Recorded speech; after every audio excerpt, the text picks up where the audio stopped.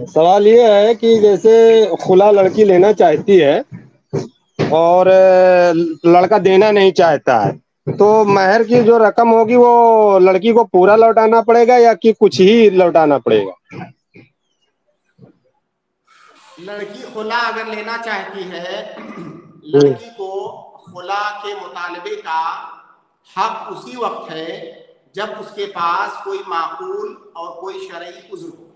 अगर कोई लड़की अपने शोहर से जुदाई का मुतालबा करती है बगैर किसी उज्र के माकूल उज्र के वो उज्र जो हकीकत में माकूल है उस आ, उसके बगैर अगर वो मुतालबा करती है तो ऐसी औरत के लिए सख्त वही है। गालिबन हदीस के अंदर है कि वो जन्नत की खुशबू नहीं पाएगी। इस तरह की वही है।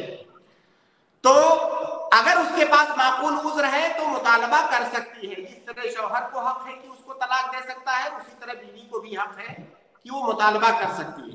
अगर वो जायज़ मुतालबा कर रही है तो शौहर को चाहिए कि उसे खुला दे दे। या तो उसे खुला दे दे या उसके साथ बैठ करके जो उनके मसाइल है उनको हल कर ले। उसको राज़ी कर ले उनके साथ जो जो भी मसाइल है दोनों के दरमियान इख्तलाफात या जो भी असबाब है उन असबाब को वो हल कर ले बैठ करके। अगर वो आ, औरत राज़ी हो जा रही है तो खलास मामला खत्म हो गया। अगर वो फिर भी मुसिर है इस बात पर कि नहीं मुझे खुला चाहिए ही चाहिए।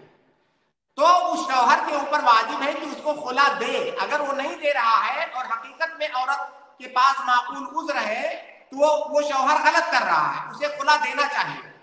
और अगर फिर भी वो राज़ी नहीं हो रहा है तो औरत ऐसी सूरत में जो है कोर्ट में जाएगी। ज़ाहिर है, अगर इस्लामी हुकूमत होगी तो वहाँ पे इस्लामी अदालत होगी। वहाँ पे जाके रुजू करेगी और फिर जज जो है फैसला करेगा। हमारे यहाँ ऐसा सिस्टम नहीं है तो ऐसी सूरत में अगर दोनों खानदानों के जो बड़े अफराद हैं, उनके पास मामले को ले जाया जाएगा और वो लोग फैसला करेंगे उन दोनों के दरमियान। और फिर भी आखिर में अगर वो राज़ी नहीं हुआ तो उसके निकाह के फस्ख का हुक्म सादिर कर दिया जाएगा और वो औरत अलग अलग हो जाएगी। लेकिन एक मसला दरमियान में जो आपने ज़िक्र किया कि अगर वो खुला ले रही है तो उसे कितना माल देना होगा अपने शौहर को? देखिए, खुला होता ही यही है कि बीवी अपने शौहर से जुदाई का मुतालबा करे और उसके एवज में वो कुछ माल दे अपने शौहर को। अब वो कितना देगी? आ, इसकी कोई हद मुतन नहीं है। जितने में वो दोनों का आपस में बाहमी इत्तेफाक हो जाए उतना देगी।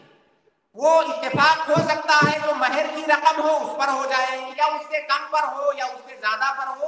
तो दोनों आपस में बैठ करके बात करेंगे और जिस पर दोनों का इतफाक हो जाए आ, उतने पर खुला होगा। इसकी कोई हदबंदी नहीं है। जो। फैमिली मैटर है तो उसमें मतलब यही आमतौर से जो आता है मसला कि महर वापस करना होता है ऐसी जानकारी मिल में है था तो इसीलिए मैं कंफर्म कर रहा था कि महर की यानी पूरा रिटर्न करना पड़ेगा वो लड़का तो देना नहीं चाहता लेकिन फैमिली मैटर के वजह से लड़का उसके मुआफिक नहीं है लड़की के।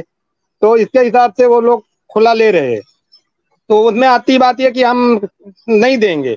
तो वो लड़की मतलब छुटकारा लेने के लिए पूरी महर दे दे, या समझौता तक कोई बात तो है नहीं, समझौता होने वाला है नहीं, ऐसा है।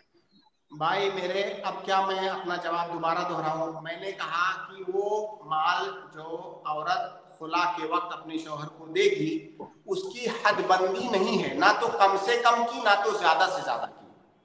जितने पर दोनों का इत्तेफाक हो जाए, अगर महर पर इत्तेफाक हो रहा है तो महर देगी। उससे कम पर मान लीजिए एक लाख महर की रकम थी, लेकिन वो शौहर पचास हज़ार में ही राज़ी हो गया। तो पचास हज़ार देगी, शौहर एक सवा लाख का मुतालबा कर रहा है तो सवा लाख देगी। लेकिन उलमा ने साथ में एक बात ये भी ज़िक्र की है कि जितना महर है, बेहतर यह है कि उससे ज़्यादा ना मांगे।